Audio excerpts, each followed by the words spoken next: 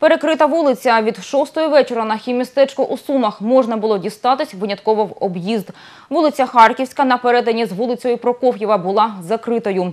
Мешканці будинків, яким припинили подачу газу, ходили пішохідним переходом у районі повороту на Сергія та Бали. Це колишня Паризької комуни. За інформацією речника патрульної поліції міста Суми Олега Сологуба, акція тривала близько 50 хвилин і наразі рух транспорту Харківською відкритий.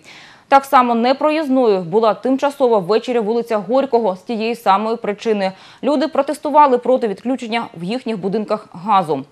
За останній тиждень це четверта спроба сумчан привернути увагу до себе. Нагадаю, до акції протесту вдається частина будинків, які за планом ПАД «Сумигаз» мають бути облаштовані загальнобудинковими лічильниками газу.